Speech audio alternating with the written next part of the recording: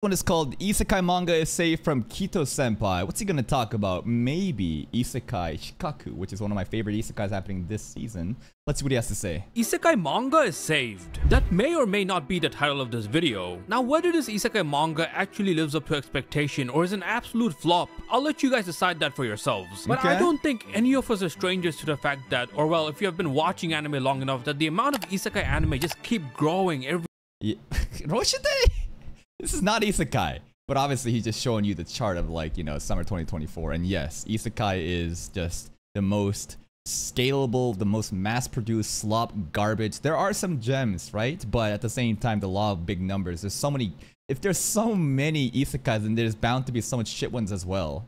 Every season. And that's just anime. The amount of manga, webcomics, manhwa, light novels, web novels that are being pumped out on a daily basis puts your average pump and dump crypto pyramid schemes to shame. Anything you can think of probably already exists as an isekai story, to the point that you get titles like this that pretty much sum up the Me, a genius, I was reborn into another world, and I think I got they've got the wrong idea. Um, there's a brand new uh Oji-san villainous isekai otome. Uh, do I have this? Where is this? Yes, this, this. Have you guys seen news of this shit? This cover. I saw this and I'm like, no. You telling me it's a villainous like game where uh, a salaryman, a boomer, dies or gets reincarnated into an otome game, but is reborn as a fucking drill, you know, the villainous role. This looks fucking hilarious. It's like I'm for sure gonna watch that. entire story and make you question your existence but just how Wait, what is this title? I've been killing slimes for 300 years and maxed out my level. Basically, Exploration Hero 2. and make you question your existence but just how long they are. Like The dirty way to destroy the goddesses heroes. Oh, I like that. And I, I I like these, you know, the different twists where it's no longer, you know, fighting just a demon lord, but the goddess is the evil one, and you know, we're shitting on the shitty isekai heroes that's been born. I mean, that's kind of basically failure frame and kind of isekai shikkaku, kind of. like this. All right, let me take a breather. Backstabbed in a What is this shit? backwater dungeon, my party tried to kill me, but thanks to an infinite gacha, I got level 9999 friends. The official title is even longer. There's this just this meta of making the titles for light novels or manga regarding these shows to be just as long as fucking possible. It's a whole ass essay as a title. What in tarnation? We got isekai about time loops, redemption, Ooh, ReZero, Mushoku Tensei, Tensura maybe? slime. Yeah! Cautious Hero next! Yo, this guy's based. He put obviously ReZero. I'm, I'm actually, shouldn't Overlord be here? Right? I think in terms of, and I've only seen Tensura and, Re, and Mushoku Tensei from these, but I hear that ReZero is like the isekai of all isekais. But Overlord is also very strong, right? And you got these as top three, and then bro puts Cautious Hero next to it, based, and then Eminence in Shadow, super based, super based. Chunibyo villain And I haven't seen this one. My next life as a villain is. Oji-san Isekai was actually pretty good.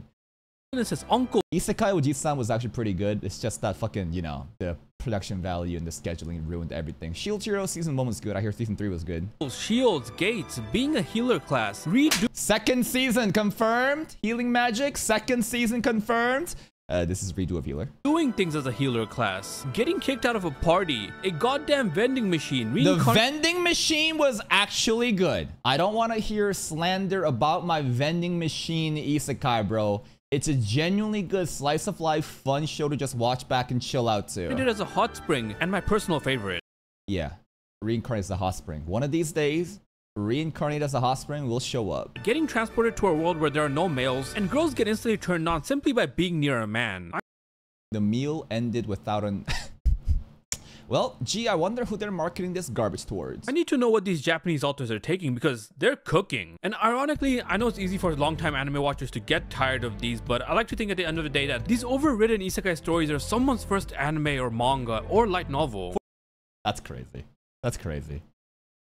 Yeah, nothing uh, better to do than introduce your new friend who's brand new to anime to an anime where the Shota has a BBL. The main character is like a nine-year-old kid who is more thick than every other girl in the show. Yep, I'm sure they're gonna take anime seriously after that. For good or bad, and they wholeheartedly enjoyed it. I mean, the genre is popular for a reason, right? It's like that one saying, one man's garbage is another man's treasure. I mean, look at this guy. Dude's been making anime manga videos for years and he's Is this Gigguk?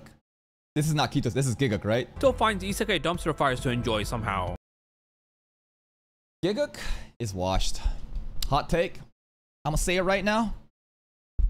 I think Gigguk's out of touch with the actual anime enjoyers. I think that he's treating this as a job, not a labor of passion, but something he needs to do. Watching everything 2x speed, barely understanding the story, then giving surface level takes on those videos. And yes, they're gonna get a lot of views, but those tier lists, I've seen those tier lists and I've seen the logic to get those ratings in those tier lists. Nope. Giga wash, bro. Fake anime fan. I'm saying it. Mm-hmm. I'm saying it, bro. Fake anime fan. And here I am because for once I'm happy man because the author wasn't just cooking, he exploded the whole damn kitchen. I honestly thought it would be a while where I pick up a new series in this genre and actually appreciate it for doing something new, trying something new. And yeah, this series did nothing short of that, but also somehow takes a bunch of these isekai tropes, mushes them, beats them together, and parodies it all into this one story. So he's really, really hyping up this isekai right now. I, I don't know who this main character is, but like the amount of glaze for these isekai and the amount of views that this video got eh, four weeks ago, it better be fucking good. Wait, there, I couldn't stop reading. Something I did not expect from a generic looking cover like this. Not Yeah, main character with black hair and an elf fucking female protag. Wow. This just basically failure frame. to mention a generic looking start with a generic looking MC in the first few pages that baits Yeah. you completely into thinking, oh hey, this will be your everyday run of the mill. I got kicked out of the hero's party, and for the sake of revenge fantasy, I'll become edgy and overpowered and show them who's the real boss. The I actually love that formula though. Like anything where you're bullied or you got left behind, you got kicked from the hero's party, then you get OP and you flex on him. Like I do enjoy that cliche. Sigma grind set and whatnot. Looks maxing, pff, isekai maxing is where it's at. But no, Alright. give me a moment to convince you. Let's start at the beginning. It follows this guy Ed. If the Kirito look wasn't obvious, he's the main character, bro's just being nonchalant, and the manga starting straight off the bat with his party members telling him, hey dude, you know what? We're gonna be real with you. We're homies, but you're kinda useless and dragging us down. You're kicked out of the party. And just like Ed's party members were like, what the heck? Utterly surprised because Ed's reaction isn't that of sadness, feeling betrayed. He In wanted fact, it's the to get other way fired? around. He's so happy, filled with excitement, even cheering, with a system prompt appearing in only Ed's point of view, kind of like Sung Jin Woo from Solo Leveling. Erect. Wait, wait, I don't remember that. I think it was alright, not erect. But the whole premise of this is he's in a party to slay the demon lord. He gets kicked out. And then now he's super happy. And now the system is also saying you have, you know, qualified for the conditions to get your OP power now. Erect. Erect. That system prompt saying the condition has been met.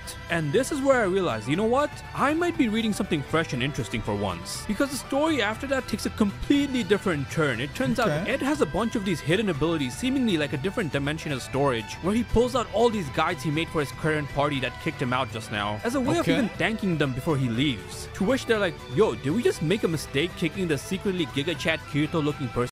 This girl is so hot. Oh, dude, the MILF wizard girls. I love them so much.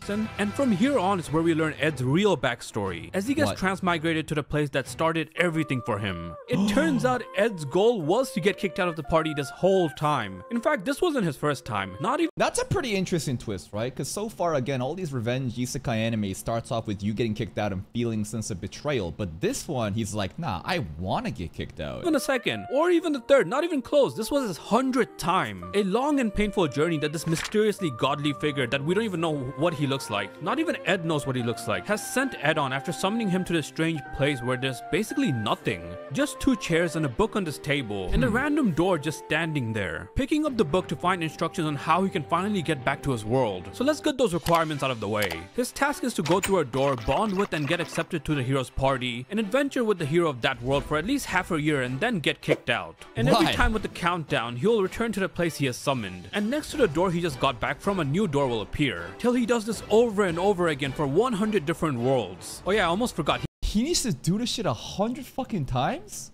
Why? To hit some kind of pity? He cannot revisit any of the doors he previously opened. And yes, you might be wondering, wouldn't he be over 100 years old then? How does he not age? Well, great question, my Padawan. Well, with each return, his age just resets along with his physique, whether he becomes And if you train, you'll gain muscle. If you eat too much, you'll gain weight.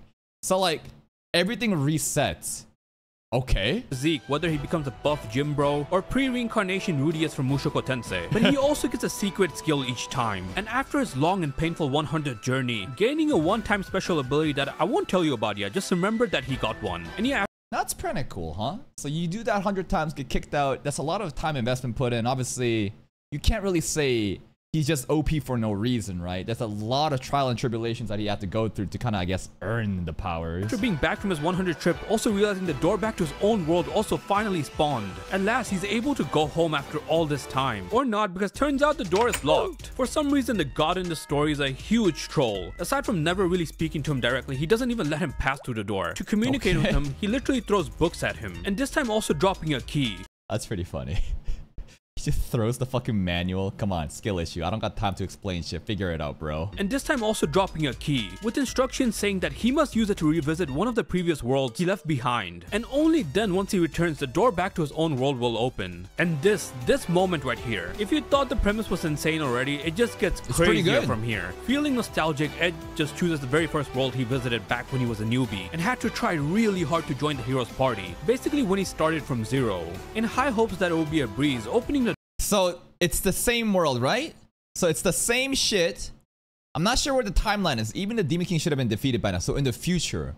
But now we can flex on the people that betrayed us, maybe? when he started from zero. In high hopes that it would be a breeze, opening the door, quickly checking out the world, which the hero's party that he was once a part of defeated the demon lord, and Okay. returning to take the door back to his own world. Or so he thought because plot twist, Whoa. walking through that door only to see Demon Lord 1. The entire world in rubbles, destroyed and roaming around with the demon lord's army. All the right. entire hero's team dead, except for one party member. This elf Better be. Ugh. I hope that I was gonna hope that it was the uh, the busty with uh, sorceress girl, but hey, I'll take the elf girl. me. The entire heroes team dead, except for one party member, this elf girl right here. Oh hey look, we got an elf Hello. girl. We have been blessed. She may or may not have been the reason that I started reading this story. Because Tia here is best girl. But sadly, even then, Tia's fate ends up being tragic. The best girl title was in fact not enough to save her. Which I'll let you guys find out for yourself. Let me just warn you, it gets quite emotional. And quite frankly, I did not expect it to hit as hard as it did. Man, you're gonna give me an actual sob story, bro. I just wanted some isekai garbage to have fun and you know laugh at. And Ed, despite being so desperate to go home after 100 years, finally reunite with his actual family. Remember how I said he got a one-time ability? Ka-chow! Using that one-time ability to grant him one miracle. One wish to Save start her? all the way from the beginning. to save her.